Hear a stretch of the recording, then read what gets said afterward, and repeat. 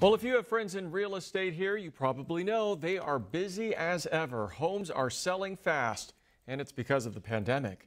Morning anchor Angela Chen has the breakdown on our changing real estate landscape. In any other year, living in a bustling city would be exhilarating, buzzing with bodies and endless events. But for many in 2020, living in a city is exhausting, crowded, and cramped. In Chicago, there are just so many people no matter where you go. Susan McKenna has already packed up her life in the Windy City and is moving to La Quinta this summer. We're just looking forward to being able to to to go outside and, and walk and just not have to worry about having so many people. Like so many others, McKenna found the new reality created by the coronavirus, stay at home orders, and physical distancing amplified the need for space at home. She felt boxed in, both physically and mentally. City dwellers are looking to move out, and because of that, our real estate right now is hotter than our summer temps. We're really seeing a lot of buyers from LA and Orange County. Debbie Romness, a sales agent with Pacific Sotheby's, met with me at one of her listings in the Vintage, an exclusive country club home to some famous residents in Indian Wells.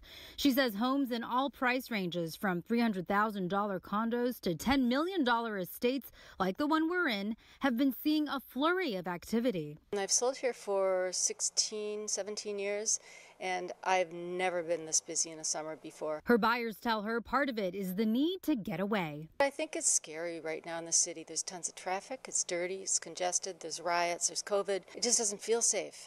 This feels pretty better here. Not that we don't have our problems like the cities, but it feels good here. And the sales feel good too. Romness says last June, Pacific Sotheby's did about $36 million in sales across the Coachella Valley.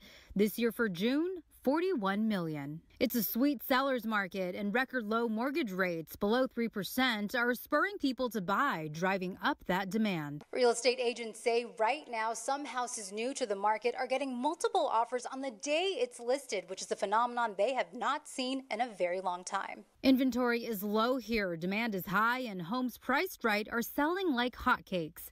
The California Desert Association of Realtors tracks inventory, and you can see the number of available homes falling each year, settling to an extreme low right now. The association says the lack of supply is pushing home prices higher. The flood into our desert is apparent. Other counties aren't seeing nearly the same buying frenzy. LA market and Orange County market in particular, they have a more stagnant market at this time. We're surpassing them in sales and as far as number of sales. So their prices aren't going up. And with COVID 19 helping people realize the newfound ability to work from home, people are seeing they can move anywhere and capitalizing on getting more bang for their buck in the desert. This is kind of one of the last bastions of affordability in Southern California it, it really is funneling people here from, from other counties. Powell has had a phenomenal few months during COVID 19. Pent up demand from the shutdown, coupled with his 3D virtual tour listings, no virus risk this way, led to escrow for all his listings. It's a great time to put your home on the market, especially now in low inventory. The chances of you getting what you want for it or what the market will bear for it is greater right now than any other time. You just got to find a home to move into after you sell, and good luck with that. Get ready for more new neighbors come fall, here to enjoy the space and pace. That's what we're looking forward to. It's just a calmer, um, more peaceful way of life. It is, after all, the desert's best wide open secret. In the Coachella Valley, Angela Chen, News Channel 3.